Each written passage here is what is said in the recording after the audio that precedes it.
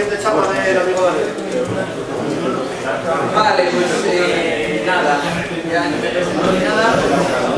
Eh, la cosa va sobre el INRAD y esto es una charla en dos partes. Eh, primero hablaré yo un poco sobre... es un software SDR. Eh, entonces primero hablaré yo un poco sobre el software, cómo funciona y tal. Es una charla un poco taller, entonces tengo muy pocas diapositivas, voy a estar usando el software la mayor parte del rato.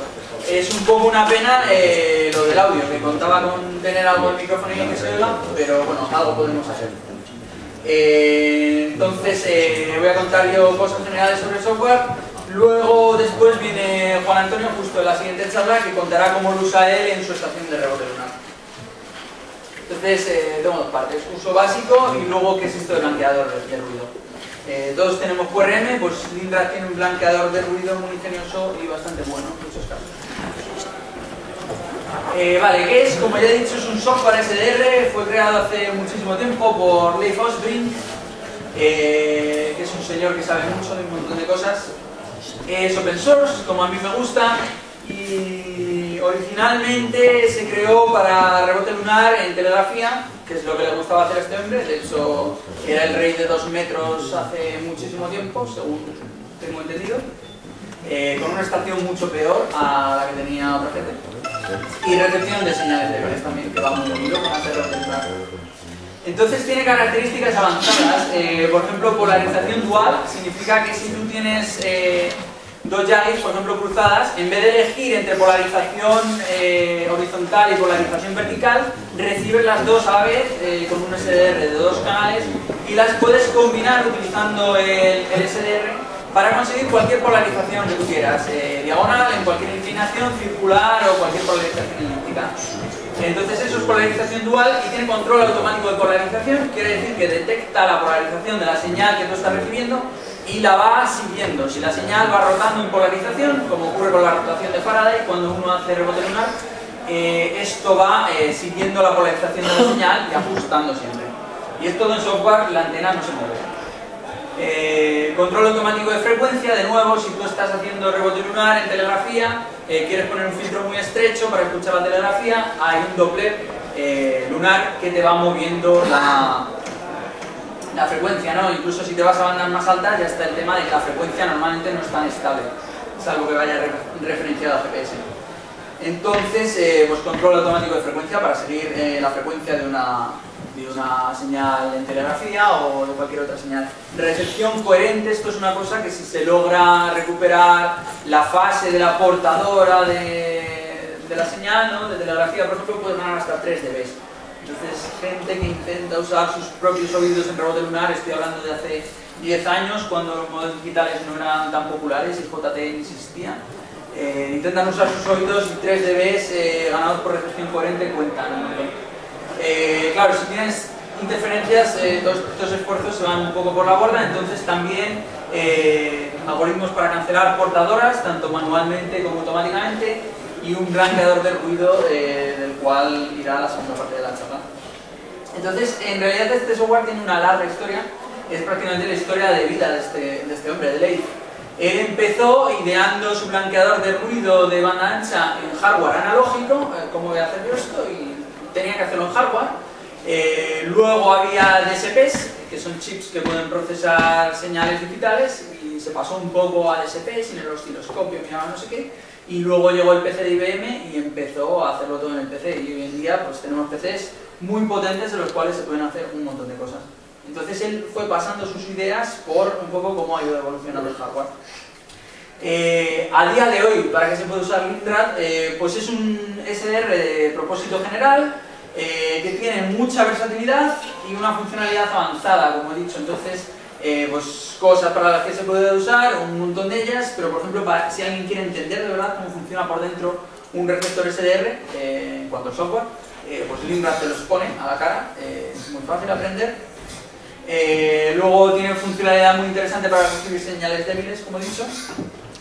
Eh, soporta la operación de varios terminales en red, entonces puedes tener eh, un montón de, de, receptores en red recibiendo la misma señal a distintas frecuencias, lo que sea.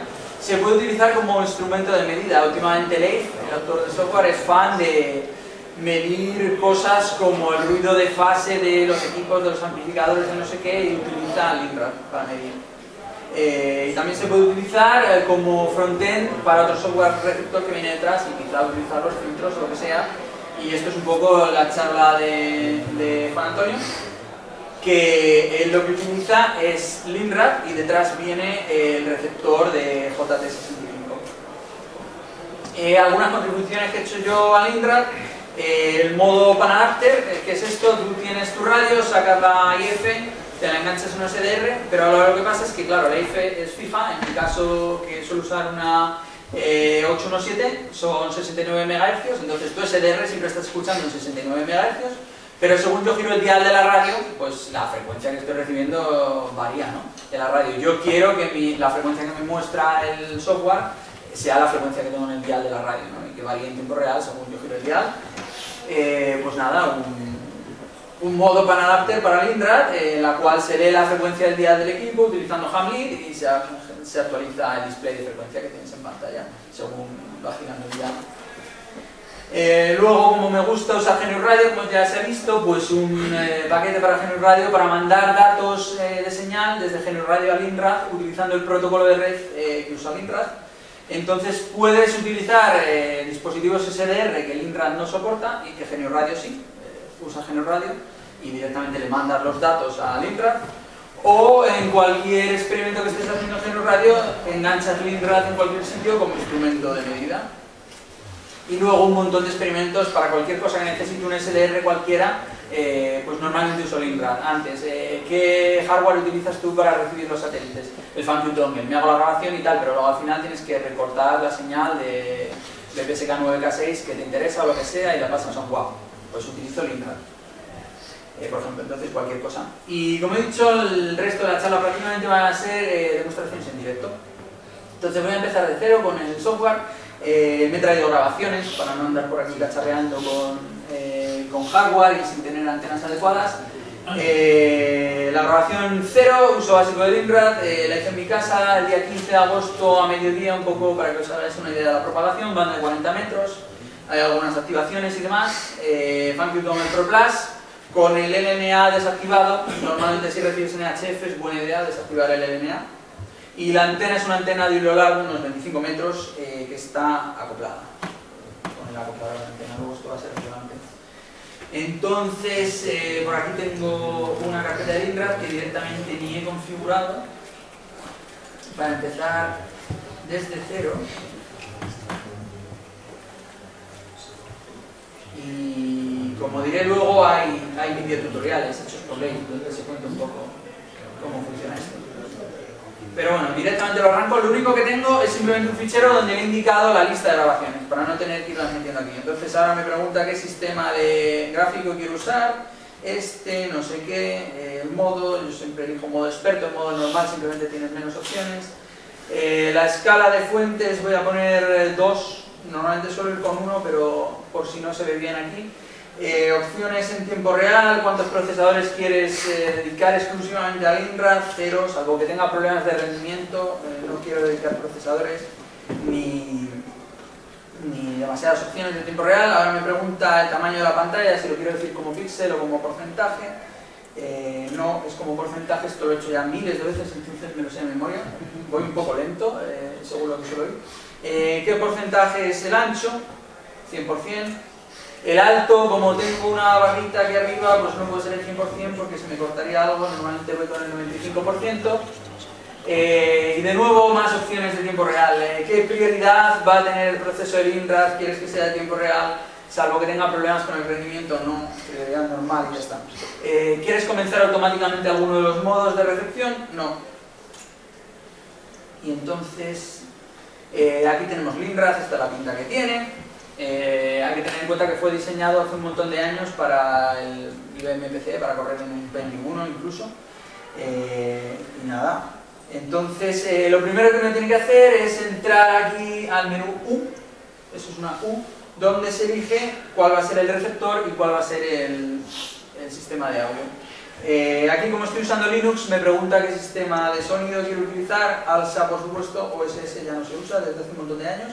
Entonces, aquí hay dos cosas, básicamente. ¿De dónde se va a sacar la entrada? ¿Cuál es tu hardware SDR? Es una grabación. ¿A dónde se va a sacar la salida de audio? Es decir, ¿qué tarjeta de sonido vas a utilizar? Aquí ninguna, podría utilizar la tarjeta del portátil, pero solo se va a ver desde la primera fila. Eh, la pongo, yo que sé. Entonces, A para elegir eh, la entrada. Eh, como no voy a utilizar ningún SDR, directamente voy a ir desde el disco, desde las grabaciones que tengo, y elijo Z. Eh, para recibir es B, eh, usar cuota de audio sí, yo que sé, por si lo quiero usar un breve ejemplo y el 13, el 12, eh, yo que sé, cada uno con su hardware se ajusta esto un poco. Y ya lo tengo, eh, la entrada va a venir del disco, eh, la grabación en mi dispositivo de sonido, o sea, la salida de audio en mi tarjeta de sonido del portátil, eh, lo que sea, y hay más opciones aquí que en principio no hace falta tocar. Entonces uno vuelve al menú, te dice recuerda utilizar la tecla W para guardar las opciones, porque si no, no se guardan. Entonces le doy a W, aquí me muestra pues, toda la lista de opciones que se han guardado y ya directamente puedo ir, eh, la lista interesante es la de la derecha, donde el punto eh, 4 dice seleccionar fila de AdWAV. Entonces LinRAD tiene dos listas de archivos eh, de grabaciones porque utiliza dos formatos de grabaciones. Uno es el suyo propio, que es formato RAW, y otro es el formato WAV de toda la vida. Eh, aquí eh, voy a utilizar, ah, perdón, las grabaciones las tengo en RAW, porque las hice con LinRAR también, entonces lo que quiero es seleccionar de AD File. AD File son la lista de grabaciones en formato RAW, AD WAV la lista de grabaciones en WAV. Entonces eh, selecciono y aquí tengo todas las grabaciones, esto va de la grabación 0, que es la grabación de 40 metros, entonces le digo que 0. Ahora me pregunta qué modo queremos usar, eh, pues tiene toda una serie de modos, básicamente lo que uno quiere usar es o bien banda lateral para recibir banda lateral, eh, los modos de telegrafía, el normal, por ejemplo, CW normal, es prácticamente como banda lateral, solo que en vez de ponerte la frecuencia del BFO, te pone en el dial, te pone la frecuencia, eh, digamos, de la señal de telegráfica, es esta tontería. Eh, luego FM, AM y demás, hay un montón de modos de telegrafía, pero en realidad eh, son el mismo, lo único que tú puedes configurar distintos parámetros. Por ejemplo, eh, si quiero hacer telegrafía muy lenta, pues tendré parámetros en los cuales el espectro va eh, evolucionando muy lentamente, ¿no? Leo la telegrafía directamente del espectro. Entonces, este modo es el mismo que el resto de modos de telegrafía, pero eh, con sus parámetros que tú pongas eh, específicos. Eh, vamos directamente con banda lateral, le doy a la D, eh, repetir la grabación todo el rato, sí, ¿por qué no? Y por si quiero hacer alguna corrección en partes por billón de la frecuencia central y del sample rate, no quiero hacer correcciones, entonces la corrección es cero. Y lo que me dice es, eh, es la primera vez que, porque es la primera vez, he empezado a usar el software en un directorio donde no tiene ningún archivo de configuración, salvo la lista de grabaciones. Es la primera vez eh, que ejecutas esto, no has elegido los parámetros de configuración, eh, te damos unos parámetros por defecto si quieres revisarlos. Entonces estos son los parámetros por defecto, eh, quizá luego entraré un poco a qué eh, significan algunos de ellos, pero de momento acepto todo y pongo esto así para que se vea que no nos muerde. Vamos a ver. ¿Qué tengo? Eh, tengo un poco lo que todo el mundo tiene en un software SDR, eh, lo que pasa es que hay que ajustarse un poco la posición de las ventanas, eh, cada uno a su gusto. Entonces esto me, lo gusta, me gusta traerme un poco para abajo. Me lo pongo por aquí, por ejemplo, y de momento para una charla básica puede servir. Aquí arriba tengo el espectro, ya se ven, por ejemplo, aquí se ve el. Eh, se ven algunas estaciones en 40 metros haciendo banda lateral. Eh, ¿Qué pasa? Primero que esto no muestra todo el ancho de banda de Phantom porque tengo estos controles y le puedo decir que me muestre todo el Phantom. Eh, segundo que esto corre muy lento, normalmente quieres que corra más rápido, pues el numerito que hay aquí eh, es simplemente, eh, digamos entre comillas, como de lento corre. Es cuántos espectros se utilizan por cada línea del display, pero bueno. Entonces ya tengo aquí corriendo mis, eh, mis estaciones que van 40 metros y uno puede directamente pinchar en una. Ahí, de hecho, está saliendo por el, por el sonido del portátil. eh, la primera fila lo escucha, al fondo seguramente se escucha.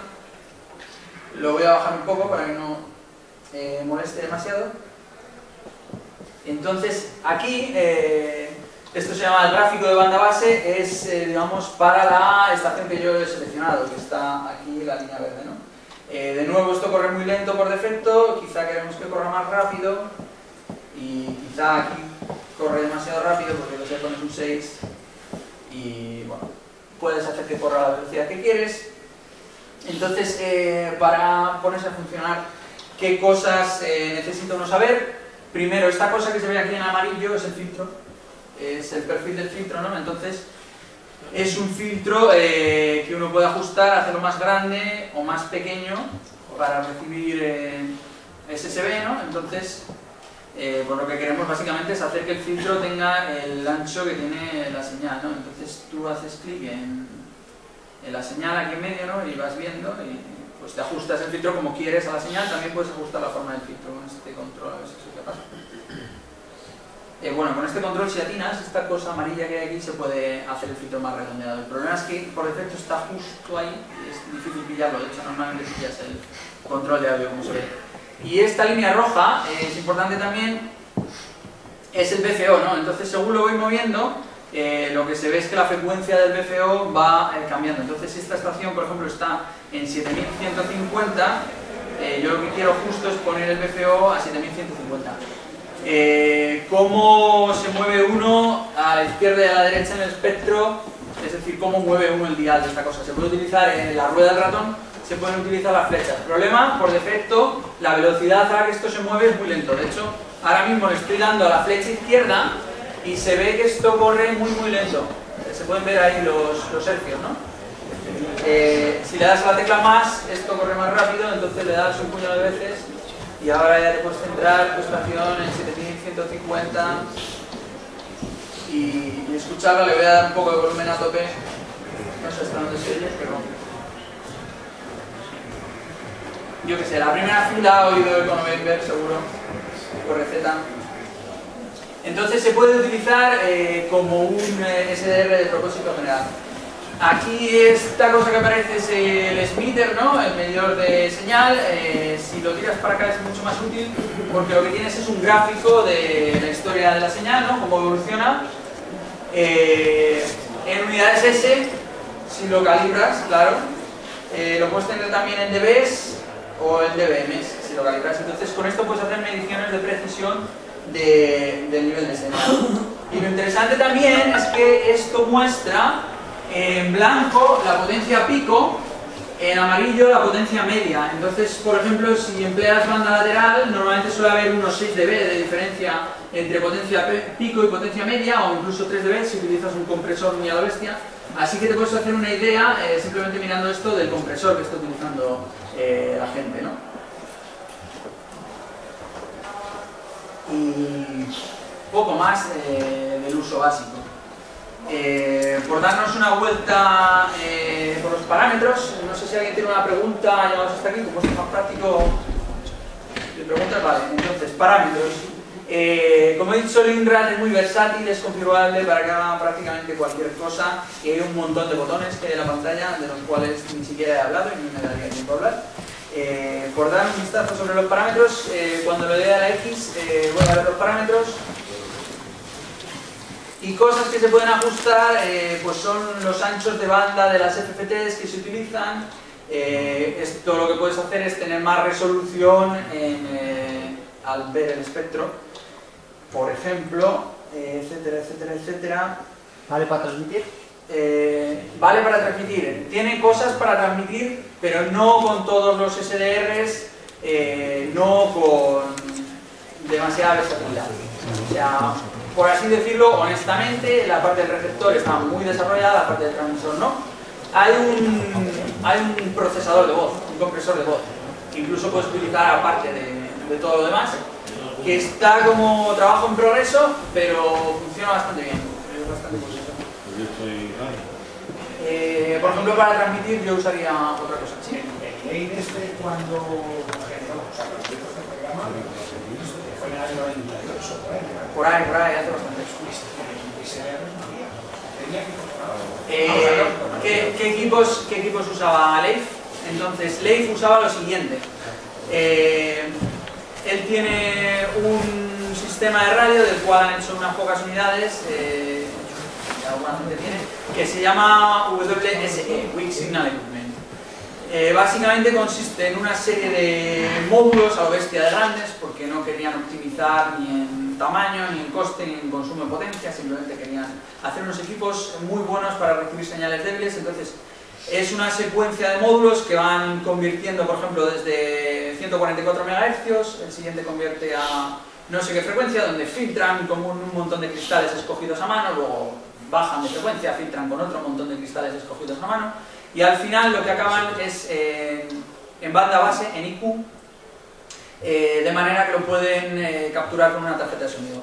En el 98, como has dicho, existían tarjetas de sonido son blaster, que podían coger dos canales con 96 kHz o incluso 192 kHz porque se utilizan en audio profesional. Entonces, al final eh, acababa ahí.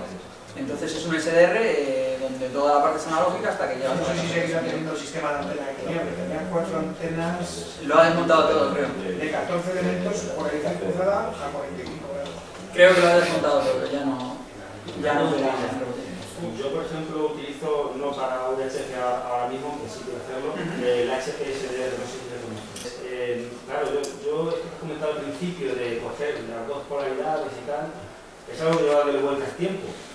ahora, mismo solo utilizo una tarjeta de recepción. Eh, pero mi, idea, claro, porque para hacer esto necesitas que el, oscilador sea ritmo.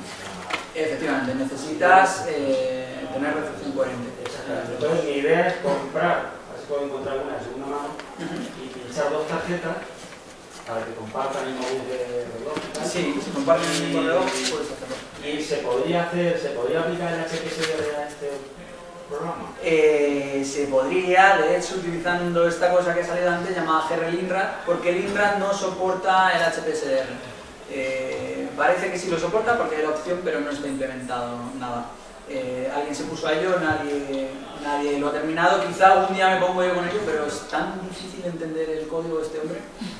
Eh, entonces, eh, yo tengo un Hermes Lite, que es la versión, digamos, de locos del HPSDR, y lo utilizo con, con Utilizo Genero Radio para hacer la interfaz con el, con el Hermes Lite, en mi caso, y luego paso los datos por red al inversor. Sí. Entonces, eh, sí se puede utilizar. Yo utilizo la primera versión que se logra por módulo, que claro, la madre, va por Ethernet. Esta, esta es la versión de, de Low sale por Ethernet también.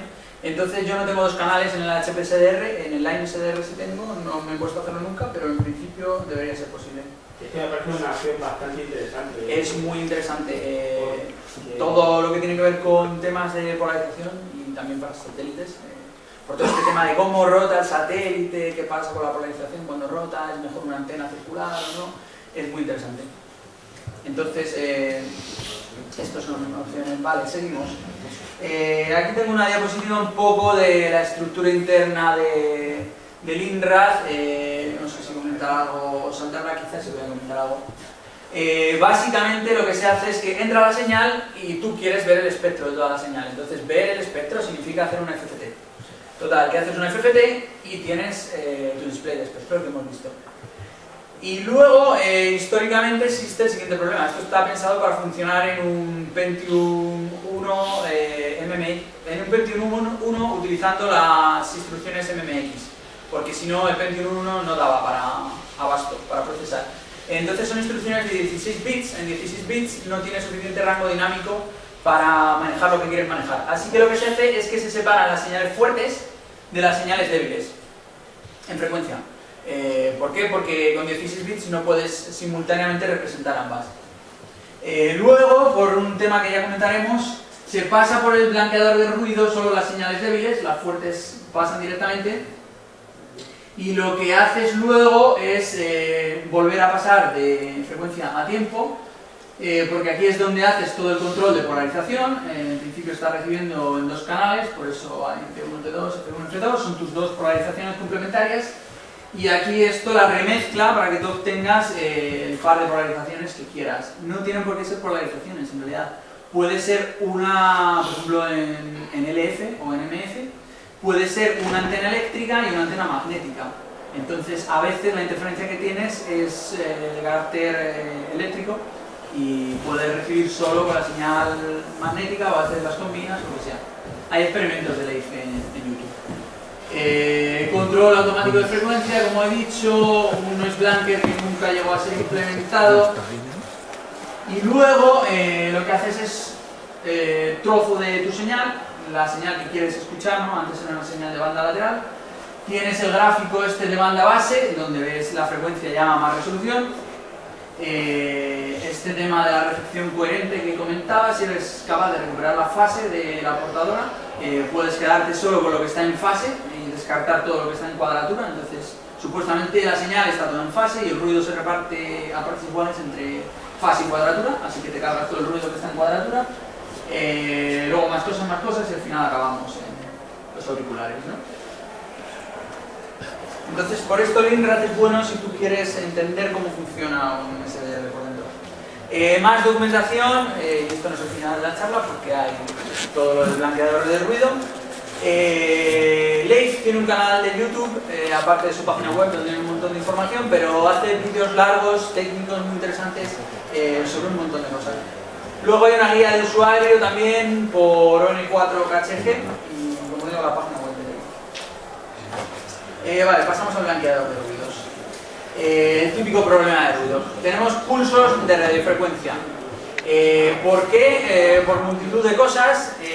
normalmente porque las fuentes de alimentación, esto son fuentes de alimentación conmutadas y operan a frecuencias incluso de radiofrecuencia, megahercios, ta, ta, ta, ta, ta, para ajustar el voltaje de 230 que entra ¿no? a 19 que van aquí al portátil eh, ta, ta, ta, esto conmuta a megahercios incluso.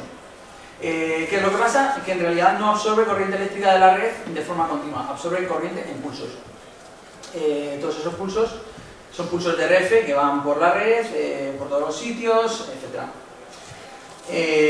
así que bueno, esto es un problema, es un problema en las ciudades cada vez más. Eh, aquí tengo una anotación un poco con colorines, eh, los conceptos en el dominio del tiempo los he pintado en rojo, los conceptos en el dominio de frecuencia los he pintado en azul, porque es importante entender esto simultáneamente en el dominio del tiempo y en el dominio de la frecuencia. Eh, ¿Qué es lo que pasa con estos pulsos? Que tienen corta duración y tienen mucho ancho de banda. por el teorema este de incertidumbre, tú no puedes tener algo concentrado a la vez en tiempo y en frecuencia. Son pulsos cortos, tienen que esparcirse por mucho ancho de banda. Esto es malo porque es lo típico de tengo ruido de S9 en todas las bandas, ¿no? En realidad lo que tiene son pulsos muy cortos, eh, pero en frecuencia ocupan todas las bandas. Eh, potencialmente tienen mucho voltaje pico. Si pones un osciloscopio en antena, incluso se pueden ver perfectamente. Eh, ¿Qué es lo que pasa? Que incluso si filtras a una banda estrecha de frecuencia, por ejemplo estás escuchando banda lateral y filtras a 3 kHz, pues todavía queda suficiente energía como para que aquello sea bastante interferencia. Eh, ¿Qué es lo que pasa cuando tú pasas eh, esto por un filtro estrecho? Cuando al final escuchas telegrafía o banda lateral. Eh, de nuevo, volviendo al teorema de incertidumbre, no puedes tener una cosa que sea estrecha en frecuencia y corta en duración. Entonces lo que pasa es que el pulso se alarga. hace ringing en el filtro, todo tipo de cosas. ¿Cuál es la consecuencia? Que un blanqueador de ruido que sea adecuado debe funcionar en banda ancha, cuando los pulsos todavía no han pasado por el filtro y no se han ensanchado. por eso son importantes los SDRs porque tienes eh, banda ancha con la que empezar a, trabajar. Los eh, receptores convencionales, eh, normalmente el blanqueador de ruido también funciona en banda ancha, pero funciona de manera analógica, entonces tiene menos versatilidad. de modo que si trabajas en banda ancha puedes eliminar los pulsos cuando todavía son cortos. La idea intuitiva de cargarse los pulsos es, bueno, si hemos dicho que son cosas que tienen mucho voltaje pico, un pulso será aquello que tenga mucha amplitud. Entonces cada vez que yo veo unas muestras que tienen mucha amplitud, más que la señal usual, lo que hago es elimino esas muestras, las pongo a cero o las limito en amplitud o lo que sea, antes de pasar por el filtro. ¿Cuál es el problema? Normalmente los pulsos son periódicos, como he dicho, esta fuente de alimentación, clac, clac, clac, clac, está tomando pulsos de corriente de la red eléctrica. Eh, pues eso, como un oscilador que tiene. Entonces, eh, si yo lo que estoy haciendo es cada vez que viene un pulso recorto, y tengo señales fuertes en la banda, por ejemplo una estación AM, que hay cerca de la banda de 40 metros, ¿no? Eh, lo que estoy haciendo es modular en amplitud todas esas señales fuertes, porque estoy periódicamente recortando la amplitud. Entonces, ¿qué pasa si yo modulo en amplitud una señal? Lo que pasa es que me aparecen bandas de modulación en amplitud que antes no había y que ahora me pueden interferir con señales de interés. Entonces, eh, eso es un problema. Eh, ¿Qué es lo que hace el blanqueador de ruido del INRAD? Pues como decía al principio, no se ejecuta sobre las señales fuertes. Eh, en función de un control que el usuario establece, se separan lo que son señales fuertes por un sitio, lo que son señales débiles por el otro, y el blanqueador de ruido solo corre sobre la parte de señales débiles. Entonces esto evita que las señales fuertes sean moduladas en amplitud y te interfieran las bandas de modulación en amplitud. El INRAD tiene dos blanqueadores de ruido. Uno que es el blanqueador, eh, digamos, tonto, por así decirlo, eh, sería la traducción, implementa esta idea intuitiva. Cada vez que hay un pulso, pone las muestras a cero. Y otro es el blanqueador inteligente, que lo que hace es eh, mide el pulso, la fase, la amplitud, etc., genera una copia del pulso y resta la copia del pulso de la señal. ¿Cuál es la ventaja? pues nada, que en este, cada vez que tú tienes un pulso, te estás cargando tanto el pulso como la señal, porque está poniendo a cero unas muestras. En este, si tú eres bueno generando la copia del pulso, al restar solo te cargas el pulso. Eh, vale, eh, como tienes que ser bueno eh, generando la copia del pulso y el pulso ha entrado por toda tu cadena analógica de filtros que tienes antes del receptor SDR, tienes que calibrar tu receptor en amplitud y fase. Y esto se hace utilizando un calibrador que usa pulso. los dos blanqueadores pueden ejecutarse a la vez y de hecho es lo normal que se hace o bien no tienes calibrado tu receptor y utilizas solamente el blanqueador tonto, o bien tienes calibrado tu receptor y utilizas ambos. Porque la gracia es que este corre primero y resta los pulsos. Y donde falla porque no es capaz de medir bien el pulso y la copia no es muy exacta y todavía sigue quedando un pulso al restar, este viene y recorta. Entonces no es que este recorte todo el rato, la mayor parte de pulsos se los carga este, los que todavía quedan se los carga este. A ver cómo vamos de tiempo. Bastante mal. Eh, vale. Vamos a ver. Eh, para la calibración lo que se utiliza es un generador de pulsos. Generador de pulsos eh, puede ser una cosa muy complicada, puede ser una cosa muy sencilla que te puedes construir en una tarde con unos componentes que cuestan no ya ni 10 euros. Entonces el esquemático es este, un oscilador 555, que es estructura de flip-flops de alta velocidad, eso es importante, los pulsos tienen que ser eh, muy rápidos. Eh, el borde del pulso ahora lo veremos en el osciloscopio. Y estos son eh, inversores de alta velocidad para simplemente amplificar y tener los pulsos de, ¿no? El flanco, eso es, no me salía la palabra en español. Quieres que los flancos sean completamente verticales y luego lo acoplas directamente por AC a la salida de, de la antena. Ahí lo tengo construido putremente sobre un trozo de eh, eh, cuidado con el nivel de la salida de RF antes de que lo conectes a un receptor.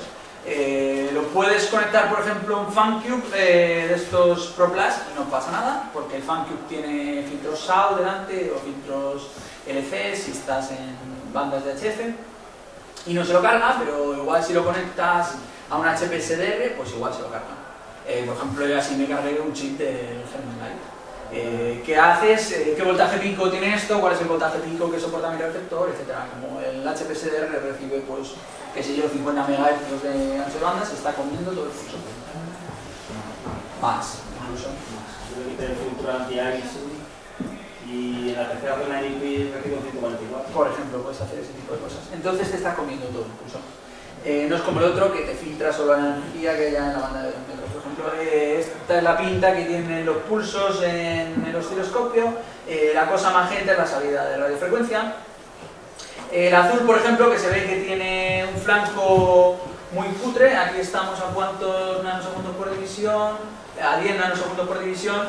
Entonces este flanco que da el, temporizador 555 no es aceptable para lo que queremos, por eso utilizamos los inversores de alta velocidad. Pero que sean baratos. Eh, pulso, yo que sé, este es un osciloscopio malo, pero me calcula que el rise time son 3 nanosegundos. Algo de ese estilo te hace falta. Luego hay gente que hace cosas más sofisticadas, filtrando los pulsos a la banda de interés, amplificándolos con un MMIC de estos y volviendo a filtrar o lo que sea. Eh, tengo un montón de grabaciones y cuántos minutos, 10 minutos, eh, para ver qué hago con ellas. Entonces la idea era básicamente enseñar cómo se calibra el generador de pulsos en directo. Me traído una grabación del generador de pulsos conectado directamente al FunCube. Y luego tenía, eh, digo porque no me da tiempo a todo, una prueba en la cual voy encendiendo y apagando el generador de pulsos y otra prueba en la que me mezclé la señal de mi antena de hilo largo en 40 metros, eh, pasada además por 10 decibelios de pérdidas, con el generador de pulsos para meter QRM de manera artificial y mostrar un poco cómo funciona esto. Esto no tiene tanta gracia si no se puede escuchar, eh, se puede ver en el espectro. Entonces, al menos voy a enseñar un poco en directo cómo va esto de la calibración de los pulsos. Eh, de modo que simplemente me salgo aquí al menú principal y eh, vamos a ver. El archivo 1 tengo simplemente el generador de pulsos conectado al Dongle y una grabación. Normalmente tú calibras los pulsos en directo, no haces una grabación y luego calibras. Eh, pero simplemente aquí por en el generador, eh, pues hago esto. Modo SSB, da un poco igual, salvo que la calibración va por modos. Y ahora, eh, cosas interesantes que se pueden notar, tenemos 40 decibelios de ruido. ¿Esto por qué? Porque el generador de pulsos está metiendo impulsos. Como los vemos, pues aquí me tengo que cargar esto un poco hacia arriba. O sea, lo primero cuando uno tiene QRM es qué pinta tiene el QRM, ¿no? Si no miras lo que hay, eh, tendrás más problemas para cargarte. Entonces, si tú das aquí... Ah, no, perdón. Eh, esto lo que pasa haciendo en directo. Entonces, el blanqueador de ruido necesita que se habilite la segunda FPT. Eh, la segunda FPT que salía en el diagrama este que conté, pues es opcional, pero si quieres usar el blanqueador de pulsos, eh, pues tienes que usarlo. Y ahora tengo un follón en la pantalla. Vamos a ver si en un tiempo récord me puedo... ¿Veis? Por ejemplo, pues para ser honesto, hay cosas que no son tan cómodas en Ingram, ¿no? Que como fue hecho hace un millón de años, pero todo eso configuras pues, por comandos, ¿no? Tienes. ¿Perdón? Eso no lo configuras en un comando y queda siempre pues, de la misma forma. Sí, claro, pero como me he traído esto sin configurar, pues sí, sí, sí. Eh, lo tengo aquí en tiempo real y que sea lo que Vale, eh, más o menos algo podemos ver. Tengo esto en medio, pero no lo voy. Eh, vale. Entonces, ahora, esto es lo que yo quería enseñar. Estos son los pulsos. Aquí se ve en, blanco la intensidad, eh, estas cosas son IQ, pero lo que me interesa en blanco, aquí hay un punto, este es el pulso. Y aquí otro tengo este entre medias, en la vida real lo quitaría en medio, pero bueno, no me molesta. Eh, entonces pulsos periódicos eh, son lo que me meten 40 decibelios de, de interferencia, ¿no? Y ahora lo que hacemos es calibrar, entonces te vas a los parámetros, dices calibrar, y eh, lo que queremos es la B, que es calibrar en amplitud y fase. Entonces esto lo que hace es utilizar los pulsos eh, para calibrar la respuesta en amplitud y fase que tiene tu. Aquí tenemos el tren de pulsos, tú normalmente te vienes y te ajustas eh, la repetición de pulsos, aquí tenemos, están repitiendo cada 820 Hz, viene un pulso, eh, es importante que los pulsos sean suficientemente fuertes para calibrar, ahí tienes eh, la relación señal-ruido, ¿no? Y una vez que estás feliz con tu generador de pulsos, eh, le das a intro. Y esto lo que empieza es a correr y a calibrar. Entonces, en magenta está la respuesta en amplitud, en verde está la respuesta en fase que tiene el receptor. Y obviamente no es plano, de hecho, pues aquí se ve que hay un filtro en el FunQ, el filtro de paso bajo, ¿no? que, tienes que calibrar, porque lo que hace es deformar el pulso cuando entra en el receptor y si quieres restar el pulso tienes que saber cómo lo deformando. Entonces eh, esto va recogiendo pulsos, aquí de hecho se muestra que ha recogido ya 13.000 pulsos, etcétera, y según recoge suficientes pulsos, pues cada vez esto cambia menos, porque va haciendo un ¿no? de todos los pulsos que recoge, y en algún momento estás contento, y lo que haces es eh, que cuando estás contento le das a no, eh, lo que haces es eh, guardar a discos. Ah, no, lo que haces es calcular las nuevas correcciones en RAM y no guardar a disco todavía. Entonces le das a la U. Y aquí lo que se calcula es cuál es la corrección que se aplica a la respuesta en amplitud si tú quieres tener este filtro ¿no? que es completamente plano. Y puedes modificar cosas, puedes modificar por ejemplo como es este filtro de paso bajo, eh, pero normalmente, sobre todo si vas con poco tiempo, simplemente lo aceptas. Y ahora ya lo tenemos calibrado, ahora lo que vuelve a hacer es calibrar, pero ya tiene eh, la corrección. Entonces se puede ver que la respuesta en fase es plana en todo eh, el espectro, salvo justo en los bordes, y la respuesta en amplitud también es plana. Y como uno está feliz, le da la S y se guardan los parámetros. Eh, vale, y ya están guardados. Eh, otra vez. Y ahora salimos y volvemos a entrar otra vez en la grabación. De hecho voy a ir muy rápido a la grabación de 40 metros. Eh, vamos a ver, vamos a ver. Me queda todavía 3 minutos. Eh, entonces, eh, para demostrar voy a ir a la grabación de 40 metros, he metido 40 metros, he desacoplado la antena, he dejado el desacoplador, o sea, el acoplador lo he dejado desconectado. Le he metido por un acoplador direccional que le mete 10 decibelios de pérdida. Total, que las señales ya no son tan fuertes. Eh, en el otro conector del acoplador direccional he conectado el generador de pulsos. Total, que estoy metiendo bastante corriente. Y se va a ver perfectamente. Eh, vale, pues vamos con la grabación 3, eh, banda lateral, por ejemplo. Eh, repetir 0, 0. Entonces, eh, pues aquí tengo la, la grabación y de hecho me voy a fijar más en el, en el suelo de los. Eh, esto no está calibrado en absoluto el medidor S, pero tengo un ruido como de S7 o algo así. Y las estaciones que se ven en banda lateral no parecen muy fuertes, el ruido se las está comiendo prácticamente. Ahora vengo aquí y lo que hago es... eh, ¿O qué pasa? He puesto la de 40 metros... Ah, sí, sí, sí, sí. No, ¿he, cogido la grabación buena? No, creo creo que esto es solo 40 metros. Yo creo que la de 40 metros con el... A ver, voy a volver ahí. La número 3 es la que quiero, no sé si antes. Sí. Vale. Pues nada. Entonces, eh, esto es lo que pasa, tengo S7 de ruido. Eh, mira, o sea, este es el ruido que tengo cuando eh, no está el corrector de pulsos, ¿no? Y si pongo el blanqueador de pulsos, eh, Smart, pues me cancela toda esa cantidad de ruido, eh, que son bastante, ¿no? Son como 10 decibelios o 6 decibelios o algo así, y se ve cómo se limpia el espectro de la banda. Y con más tiempo y sobre todo un equipo de audio, pues eh, en mi casa yo tranquilamente que estuve probando esto, se puede ver como estaciones que no se podían copiar en absoluto porque estaban por debajo del QRM, metes el blanqueador de ruido y ahora se pueden copiar. Entonces, eh, poco más. ¿Qué cosa? Con este software se puede, por ejemplo, reducir la interferencia que por ejemplo todo lo que estamos sufriendo ahora mismo en HF. Sí, esa, esa es la idea. Y para calibrarlo, además del generador que comentaba antes, es infinito y tu antena, ¿no?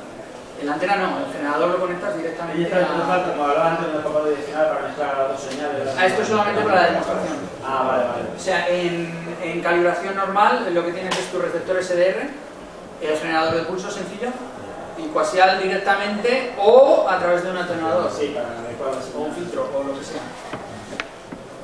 Entonces directamente. Pero una cosa, eh, porque tú estás creando unos pulsos, ¿vale? Con una periodicidad más en el 555 y más. Pero ¿eso es representativo del QRM que luego tú tienes? Porque... Vale, esa pregunta es muy buena. Eh, quería hacer una grabación con el QRM que tengo a veces en mi casa, pero como es a veces, eh, pues no estaba justo cuando yo estaba grabando. Entonces, eh, representativo a veces sí, a veces no, depende del tipo de, interferencia que tengas, muchas veces sí. De hecho, Leif tiene como un pique personal y una competición de si tú tienes una grabación de ruido eh, que no funciona bien con los algoritmos del INRAD, mándamela y lo miraremos.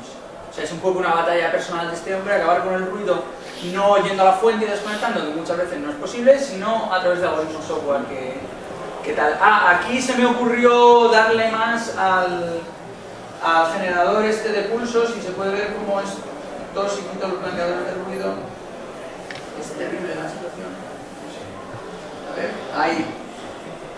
O sea, este ruido estaba matando, ¿no? Prácticamente 10 decibelios. O sea, de 9 de baja a 7. Eh, en este ejemplo sí, pero... Este ejemplo sí.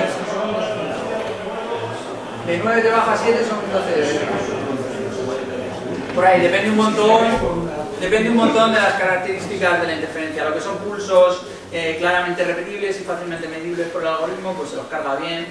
Eh, cosas más variables no, pero, pero bueno, yo qué sé. ¿Calibrar en tiempo real puede? Calibrar en tiempo real puede ser la forma usual de hacerlo. No, pero me refiero a la grabación por no traerme el cacharro y andar aquí enchufando cosas. ¿Esto funciona solo con una fuente concreta, como los anuladores de ruido, digamos, hardware? ¿O funciona también cuando tienes varias fuentes de ruido de diferentes eh, posiciones? Eh, funciona también, eh, digamos, el blanqueador de ruido no sabe eh, cuántas fuentes hay y de dónde vienen. Él simplemente, cada vez que ve un pulso, pues mide las, las características del pulso y lo intenta cancelar. Si tienes dos fuentes, estarán metiendo pulsos de características distintas, periódicamente, cada uno con su frecuencia, pero simplemente pues este señor cada vez que ve un pulso le da igual si es de la fuente número 1 o de la fuente número 2, mide las características y intenta cancelar. Esa fuente de pulsos que estás, estás generando tú, vamos a decir, externamente, ¿la podrías coger directamente de, de la señal que estás recibiendo? Eh, no. O sea, para calibrar necesitas un generador de pulsos. Porque es importante que los pulsos sean, sean pulsos de verdad, de laboratorio. O sea, normalmente el QRM que tienes, pues para empezar no tiene la suficiente intensidad, eh, los pulsos, y para seguir, pues eh, no tiene los flancos tan... Dos receptores, unos receptores subido la potencia, ¿puedes eliminar? A ver, dos receptores. Con dos receptores, uno de los receptores usarlo para calibrar subiéndole la potencia contra la otra señal. ¿Podría hacerse? En cosas muy estrechas, no se van A ver, o sea, no, más no, ruidos de laboratorio. no entiendo la, la diferencia. Coges el propio ruido ¿Sí? con uno y, y otro lo lees y lo usas para calibrar la propia señal que estás usando, pero amplificada para que sea más fuerte. Eh, no, pero el problema es que se amplifica, o sea, digamos, tú lo que tienes es eh, ruido blanco y pulsos de QRM que te está metiendo la fuente de alimentación del portátil, por ejemplo. Eh, lo que pasa es que los pulsos no son mucho más grandes que el ruido blanco, que de fondo, si amplificas, amplificas todo. O sea, lo que quieres es un generador de pulsos de laboratorio donde por la salida solo salen pulsos, verdad. Porque para eso se llama calibración. O sea, no calibras, digamos, para tu ruido específico que hay, sino que lo que calibras es la respuesta en fase y en amplitud que tiene tu hardware analógico utilizando. Una pregunta. Eh, ¿La frecuencia de la que se gusta es el 55 del generador de ruido? Eh, normalmente 500 hercios, kilohercio, algo así. De 500 a 500 No es crítico. Eh, cuanta menos frecuencia de repetición tengas, eh, más puedes resolver en frecuencias para la central. O sea, cuanto más lejos estén los pulsos, más puedes resolver en frecuencias la frecuencia central. Eh, sin embargo, menos señal. O sea, práctica estamos Sí, brazos. Esquema que hay en la web de los.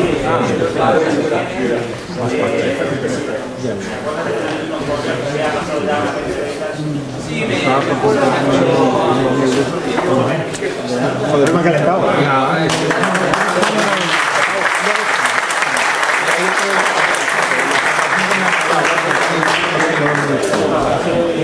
no.